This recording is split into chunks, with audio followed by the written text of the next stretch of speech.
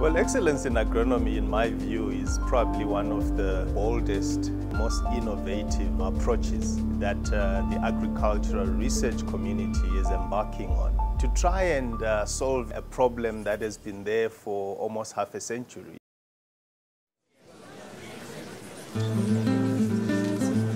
How do we bridge the gap between the good science that happens in these science institutes and what happens in that farm in the village? And essentially, what is agronomy? Agronomy is those decisions that a farmer makes from the time they decide they're going to grow a crop. What will I grow? How do I prepare the land? How do I put crop nutrients or fertilizer? How do I control pests? And ultimately, how do I harvest and take this crop off the land? So we are trying to influence those decisions. And across the world, there are gaps that we think as excellence in agronomy we can meet. We are here to improve yields in a way that supports climate change adaptation and mitigation within planetary boundaries. And this is excellence in agronomy. We are working on delivering for the world, particularly the global south, the support so that the next generation is fed and has new livelihood opportunities, soils, health is improved as we go along. And I think we have all the different pieces are starting to come together. So the issue that we're trying to identify is where are those modules or pieces that can fit together well, uh, that can be easily pulled. It's almost like a library of, of books that can be checked out and used by whoever's out there. You know, it needs to be open. It needs to be um, pieces of the same puzzle that can be then locked, interlocked much more easily than we're able to do today. That's where the value of excellence in agronomy is. You know, making that big puzzle with, with all of these different, so far, individual bags of puzzle pieces, trying to bring them together and fit them in a bigger piece that's a whole. Over the next few days, we're going to have a gathering of almost 100 people from every region of the world gathered around the table to try and develop solutions for one of the biggest problems in the world. How do we irreversibly transform agricultural systems across the global south through improving agronomic practices of small-scale farmers? This is the shot that we have. And if we get it right, agriculture and food systems will never be the same again. So we are looking forward to really using this time to transform the agricultural systems across the world through sustainable intensification and climate change adaptation that will change the lives of farmers in the global south irreversibly. Can we take a seat, please?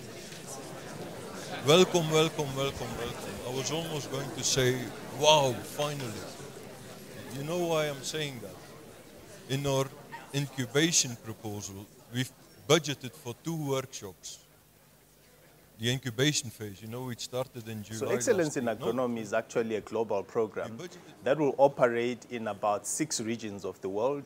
And these regions are Latin America on the one side. And then on the African continent, we've got two main regions, Western Central Africa and then Eastern Southern Africa. Then for our North African uh, colleagues, we've got a region that covers North Africa, but also Central West Asia. And then we've got two regions in Asia, that is Southeast Asia and South Asia. So this program is a global program that will look at all those regions and really try to respond to the challenges that still exist in advancing agronomy. In 2022, when we are launching this initiative, a lot has changed. A lot has changed in terms of communication technologies. A lot has changed in terms of our ability to process large amounts of data and convert it into insights that can help farmers make simple decisions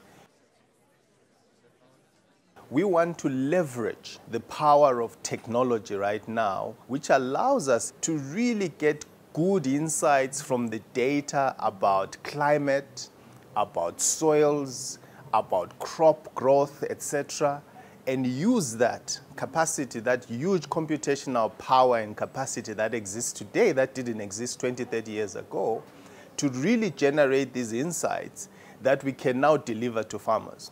So whereas in the past we might have needed uh, a thousand extension agents to reach a million farmers, With technology, we could actually do more farmers with fewer extension agents because we can communicate to people using uh, mobile telephones, using SMS, using interactive voice recording.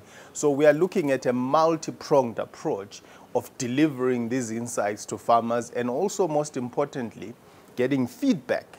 We're often dealing with little data that needs to be um, uh, much better formatted, much more uniformly and quickly actionable um, and it often isn't. Um, and so, you know, we call that interoperability, being able to uh, not only find the data quickly, being able to download it, you know, that means it needs to be open, uh, being able to then action on it. Once we ascribe the same, you know, we have the same formats to be able to reuse that very quickly and aggregate data quickly because that's what's needed.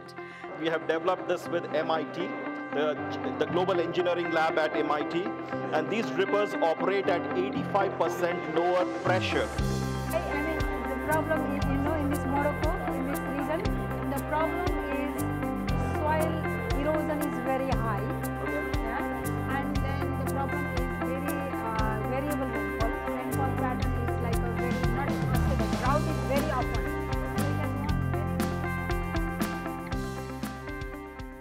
Farmers have to face new climates and they have new market opportunities um, all the time. So it's really about supporting adaptation so that people can solve the problems for themselves and that there is at the same time more genetic options so seed systems are working there's better improved soil water conservation and I think our capacity building around this for our national partners working with our private sector partners uh, will ultimately bring us to farmers.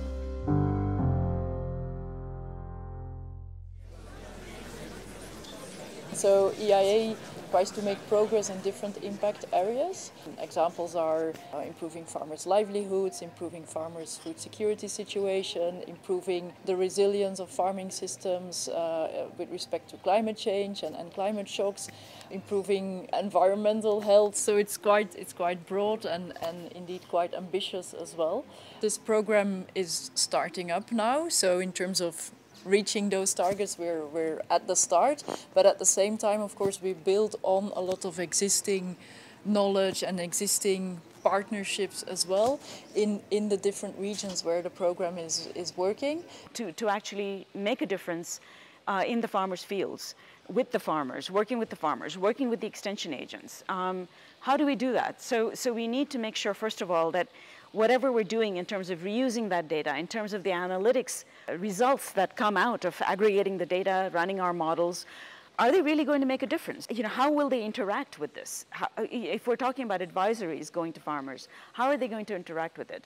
You know, it, it's not just, okay, here's the right amount of fertilizer to add in this particular location how do we bundle all of that together in a way that makes sense and is temporally valid? So at a certain time, this is what the farmer needs to be doing. If the conditions change, our recommendations need to change as well. We don't have all the answers right now, but this is what excellence in agronomy is trying to get to. We know that farmer communities, they're very diverse. And so when you make recommendations, you cannot go to such communities with just one blanket recommendation. You need to try and find a way to tailor your advice, tailor your recommendations to the farmer context, to the, the, the farmer's way of thinking, if you like. Excellence in agronomy is building on you know, many decades of work and partnerships. And so that's why I have confidence that we are going to deliver.